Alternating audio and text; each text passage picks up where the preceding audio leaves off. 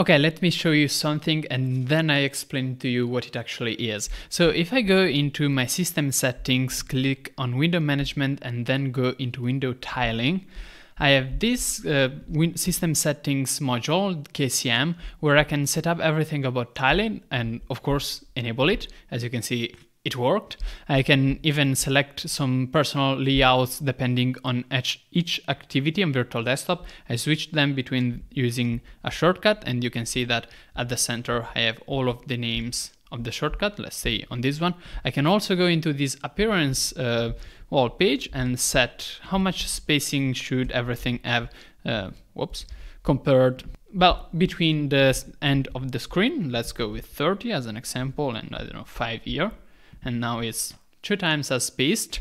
In behavior, there's also all of the things you can do custom window rules and workspace rules. So everything you would expect from a powerful tiling, uh, well, environment. And then I can open up other stuffs like Dolphin and you can see it kind of works. System setting requires the width to be a certain uh, thingy. So it it kind of messes up that, but you can see by changing the layouts, I can find some that actually works, like this one. You can see it works. And that's very nice. So we actually have window tiling and to actually understand how to use it, we can go into the shortcuts section and search for Bismuth. Yes, that's what I'm using. I'll explain later on. We can see that, I don't know, move windows left and right, it's Meta, Shift, L, and H, like this and that's so nice. And you could say like maybe it's missing the Pop OS kind of applet in the system tray, but that's actually being sorry here worked upon. You can see this is the feature that's being worked upon. And so what is this? What is this cool feature that KDE has? Well, it's not actually a feature of KDE. This is Bismuth, which is a third-party KWin script, but it's actually much more at this point. And I think it does a good number of things incredibly right. So for years, people have asked for a native uh, KWin tiling manager. And the idea is that if it's native in KWin, it's going to be good because it's going to be integrated with all of the Plasma thingies. But the fact is that a third party a third-party script or project can be just as integrated into Plasma as third-party things. So there isn't really a need for a first-party KWin tiling because third-party ones can act as if they were first-party. Uh, as you can see, I'll make an example. When changing the tiling uh, mode, you can see at the center the various tiling mode.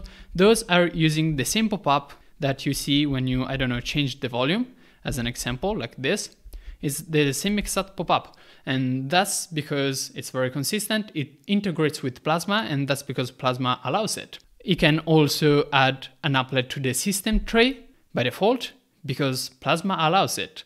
You can also, and this I think is the biggest thingy, add directly a system settings page inside of system settings in the right place. Of course, it disappeared because magic, but in the right place and act as if it was like a first party feature.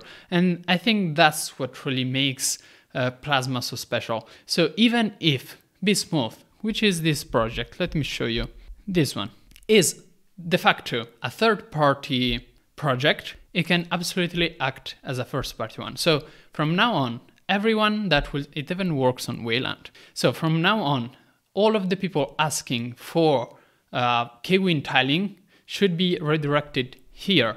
It's not the only project, but as far as I've seen them, it's currently the most advanced one with most options and it kind of works out of the box. And it has all sort of features which, uh, well, I kind of showed you all of the settings, all of the ways to actually tile stuff. And I mean, you can even do floating stuff. It's really cool. You can install it through packages. There's Debian, Arch Linux, and so on. And this is based on Cron Krohnkite, Krohnkite, Kronk something, and uh, which was a KWin third-party script, but it really builds on it. And the fact that you will soon, I think, be able to use Windows styling through an applet in the system tray just by installing one package from uh, at the repository.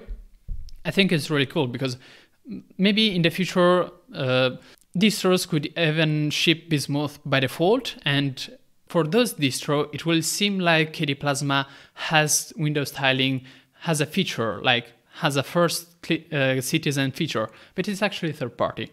But since they ship with it it will seem like it's perfectly normal for KWin to have tiling so maybe in the future tiling will not be a thing and there will be something else. And for that something else we don't need to change the kwin code because well you can just write a script or a project that also uses like runners for KRunner. You can actually do custom KRunners for runner. I think that's cool. But also applets or these windows or add system settings. Manjaro does this. It adds some pages into system settings. And it will be as if KDE Plasma KWin as a project will have that already. I think that's so cool. So if you're interested in tiling, this is probably the best way. You can also search for store.kde.org, which will take ages to load because internet.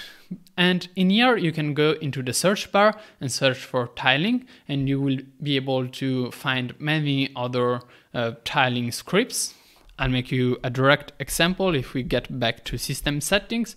Uh, turn this off, please. I'm not I'm not an expert on Windows tiling, so I leave it to you. But if you go into Windows Management and then kwin scripts and then get new scripts, so you're not even opening the browser really, you're just opening system settings. You can search here for tile. Of course, it's loading. Tiling, sorry and it will search for all of the projects that contain tiling in the name, and that's gonna contain as an, as, a, as an example Krohnkite, which we saw earlier. Hello, internet, come on. Okay, so, okay, so I'll give up on, okay, it's actually sh showing something, finally, sorry. You can see there is grayed out because it's still loading, but floating tiles, tile gap, Madier, kwin rectangle, grid WM, kwin quick tile enhancement, blah blah, of course connection is terribly unstable right now. Thank you, KDE, right when I'm recording. But then, yes, there's Krohnkite, Krohnkite, and so on. So there's lots of third-party scripts that you can just download right away from system settings. And then there's, can I actually close this? Okay. And then there's actually Bismuth, which is third-party you install by packages because it contains more stuff than just an extension for KWin. And that's so cool. Like, honestly, one of the coolest feature ever. And that was everything. Well, I'm going to intersect with the with the donations. Uh, okay, sorry about that. Yes, that was everything, and I'm really happy to see third-party projects doing really experimenting what, with what they can do because they can do a lot even though they are third party. So if you're interested in doing these kind of things, there's a lot of documentation. If you want to do an applet, well, you can really ask me. I think I kind of know how to do those sort of things. If you want to do other things like kwin scripts, I'm not expert, but I can try to help.